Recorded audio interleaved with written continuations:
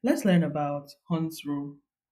Hund's rule is a simple but powerful principle in quantum chemistry.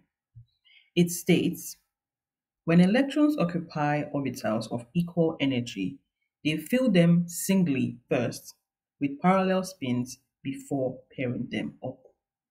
This means that if there are multiple orbitals at the same energy level, like the 3p orbitals or the 5d orbitals, each orbital gets one electron before any orbital gets two. So why does Hund's rule matter? Hund's rule minimizes electron repulsion. Electrons are negatively charged and they repel each other.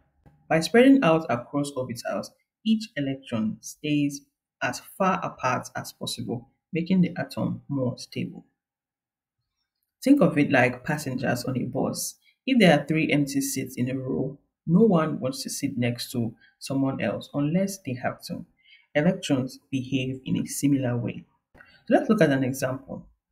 Nitrogen, for example. The atomic number of nitrogen is 7, meaning it has 7 electrons. The electronic configuration is 1s2, 2s2, and 2p3. Now let's focus on the 2p3 part. The p sublevel has three orbitals, and according to Hund's rule, the three electrons will fill the three orbitals singly with parallel spins like this. No pairing occurs yet because each orbital can hold one electron first.